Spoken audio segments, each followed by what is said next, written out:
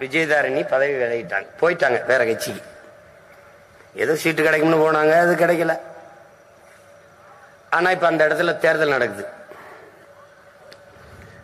இப்ப அவங்களுக்கு ஓட்டு போட்ட மக்கள் என்ன பண்ணலாம்? இப்ப தேர்தல் நடக்குது இடைத்தேர்தல். அதுக்கு செலவு என் காசு உன் காசு நம்ம காசு. இப்ப என்ன பண்ணும்? விஜயம்மா இங்க வாங்க.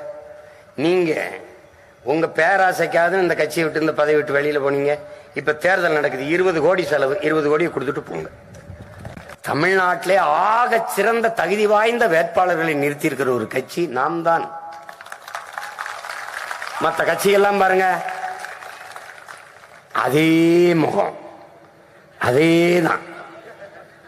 அதே ஆட்கள். அஞ்சு ஆண்டு பாராளுமன்றத்தில் போய் என்ன பண்ணீங்க? ஒன்றும் பண்ணல. மறுபடியும் போய் என்ன பண்ணுவீங்க? ஒன்றும் பண்ண மாட்டோம்.